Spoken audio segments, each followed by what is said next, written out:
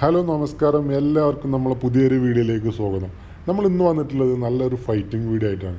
കാണ്ടാമൃഗവും അതേപോലെ കാട്ടുപോത്തും തമ്മിലുള്ള ഫൈറ്റാണ് കാട്ടുപോത്ത് സുലഭമാണ്. നമ്മളെ നാട്ടിലൊക്കെ നമ്മൾ അധികം കാണാറുണ്ട്. പക്ഷേ കാണ്ടാമൃഗം നമുക്ക് അധികം ഇവിടെ നമ്മളെ നാടുകളിലൊന്നും അധികം അങ്ങനെ കാണാറില്ല. നമുക്ക് സൂവിലൊക്കെ പോയാൽ കാണാൻ പറ്റുന്ന ജീവിയാണ് കാണ്ടാമൃഗം. ഈ കാണ്ടാമൃഗം അതേപോലെ കാട്ടുപോത്തും കൂടെ തല്ലുകൂടിയാൽ ആരെ ജയിക്കുക നിങ്ങളെ അഭിപ്രായത്തിൽ നമുക്ക് ഈ വീഡിയോ കണ്ടാൽ നിങ്ങൾക്ക് മനസ്സിലാവും. ഏകദേശം ഉദാഹരണമാണ്.